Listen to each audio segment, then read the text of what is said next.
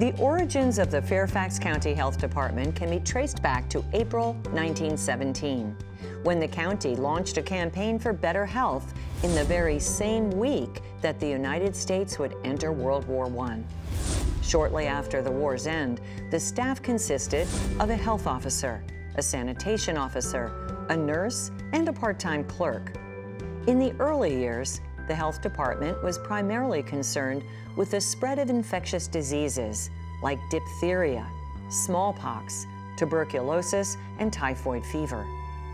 With better sanitation, education, and immunization practices, many of these threats began to wane. Fairfax County participated in the trials of the Salk vaccine for polio, and they provided vaccine to children at their schools. At that time, I attended Lincoln Elementary School, and I received the vaccine there. While director at Fairfax, I came across a picture of polio vaccinations being given to a long line of young students at the school. I was one of the kids in that line. As Fairfax County began to rapidly grow and develop, so too did the health department and its services. Only five years after opening the Joseph Willard Health Center in Fairfax in 1954, it was necessary to open three branch offices in Mount Vernon, Springfield, and Falls Church in order to provide health services to a county population that now numbered nearly 200,000. With more facilities and staff, the department was able to offer services like maternal and child health clinics, home health care, speech and hearing, dental, and school health services. And much of that work was done by public health nurses. When I started here in the 1960s, we were all basically generous, providing a wide range of nursing services in the community and in the clinics. We were assigned a caseload geographically, and we spent part of the day making home visits. Back then, people recognized us by our uniform. Our uniforms were uh, navy blue suits, and we wore white blouses. We had navy blue hats.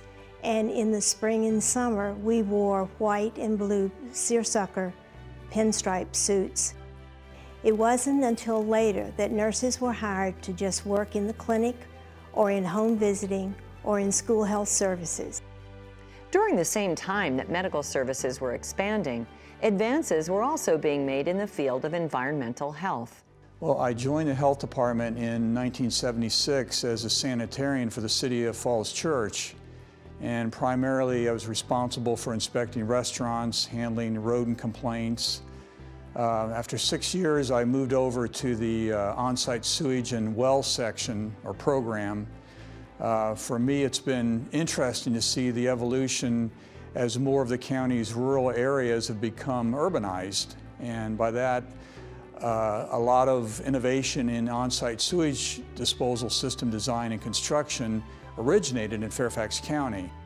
For most of its history, the health department operated under a cooperative agreement with the Commonwealth of Virginia by which the county hired state employees to carry out its public health services and financial support was shared between the state and county government. That changed in 1994 when the Virginia General Assembly granted Fairfax County the authority to operate its health department.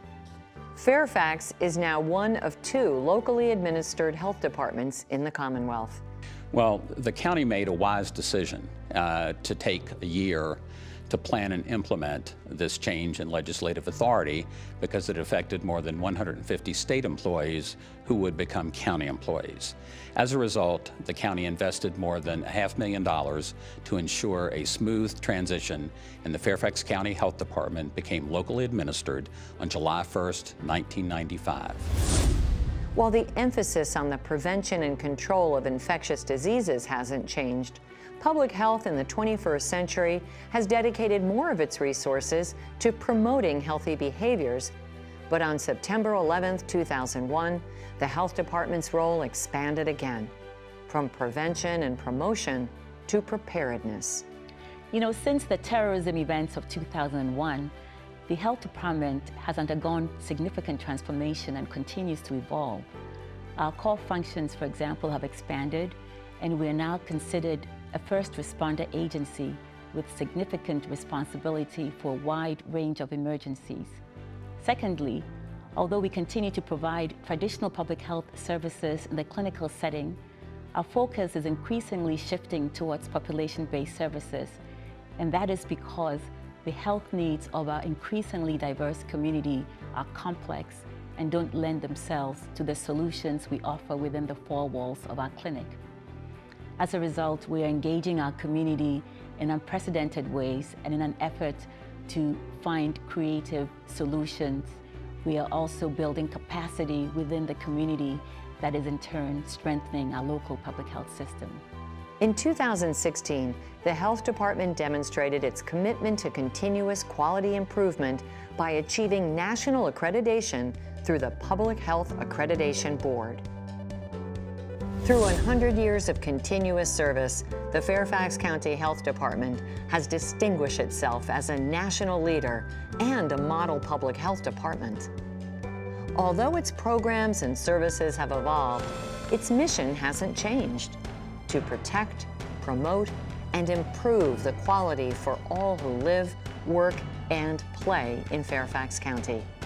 Congratulations to the Fairfax County Health Department and all the dedicated public health professionals who have served the needs of Fairfax County since 1917.